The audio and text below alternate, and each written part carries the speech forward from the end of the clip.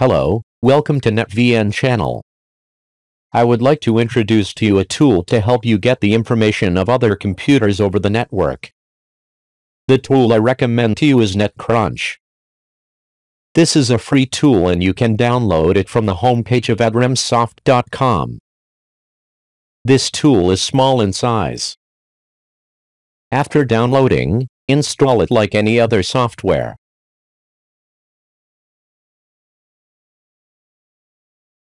Once the installation is complete you can launch it and use it to get the information of other computers on your network.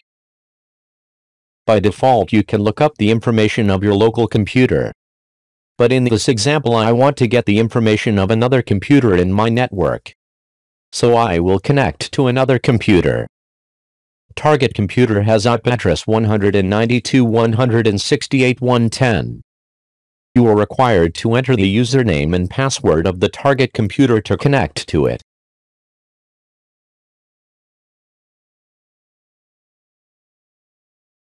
First I want to know what operating system the target computer runs. Thus, the target computer runs Windows 11 Pro operating system. Target computer has IP address 192.168.110 and this computer has IP address 192.168.116.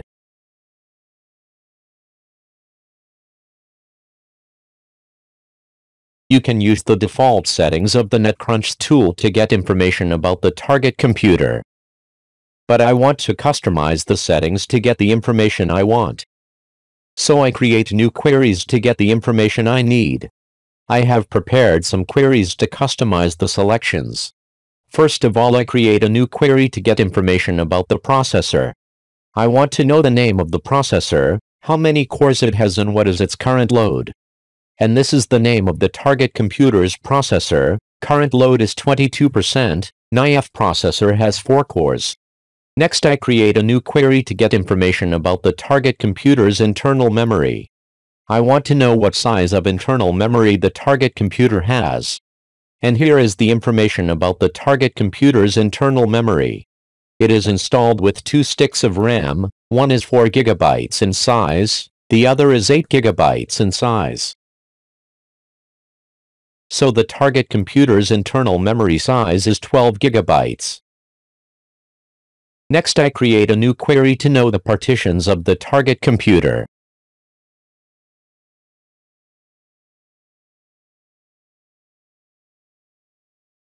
This query tells me the target computer has two partitions. One partition to install Windows operating system, the other is named data. I also want to know how many physical hard drives are installed on the target computer and what is the size of each hard drive. So I create a new query as follows. This new query tells me the target computer has two physical hard drives one 256 gigabyte solid-state drive and one 1 terabyte media hard drive. Next I create a new query to know the network settings on the target computer. It helps me to know IP address, gateway, MAC address. Thus, the target computer is set to the IP address of 192.168.110 and much more information. Also I would love to know the target computer's network traffic for Windows Server network traffic is very important because it helps me know if there is network congestion. I create a new query about network traffic as above. It helps me to know the current bandwidth of the target computer and know the current network traffic. As the result I got, everything is fine. So with the customizations I got the networking tool I wanted. I can get information such as hardware, network traffic and load of the target computer remotely. How about for a domain computer, can you get the information? The answer is yes, you just need to do the following. You connect to the target computer by name or IP address. If your network has a DNS server you can connect to the target computer by name. You are then asked to update your domain username and password. That way you can get information of computers in the domain. As you have seen with this tool you can get the information of the remote computer. In case you can't get the information of the target computer, then you set the following on the target computer. You need to make sure the target computer is set up with a password, if not, create a new one.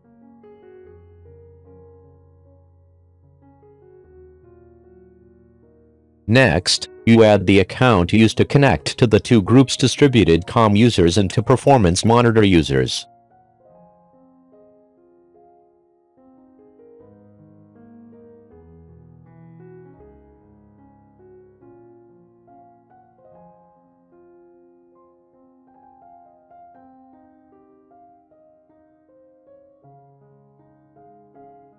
Then you set up WMI control as follows.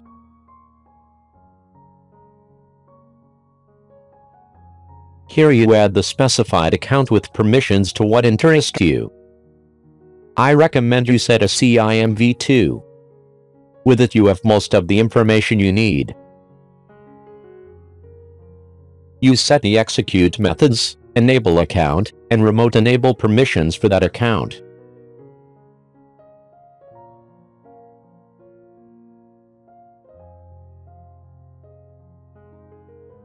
Next you open the run window and enter the command as above.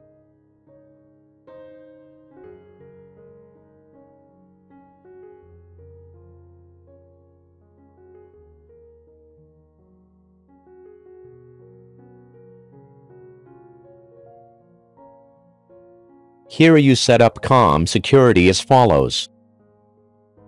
In section Launch and Activation Permissions click Edit Limits.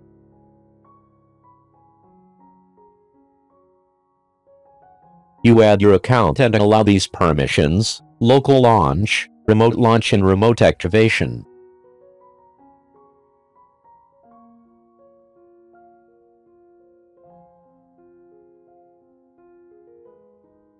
Firewall will prevent other computers from illegally accessing this computer. So you set to allow WMI to go through the firewall. One more thing I recommend you to set up a static IP address for the target computer if there is no DNS server in your network. I have already covered how to help you get information about another computer over the network. Good luck, don't forget to like and subscribe.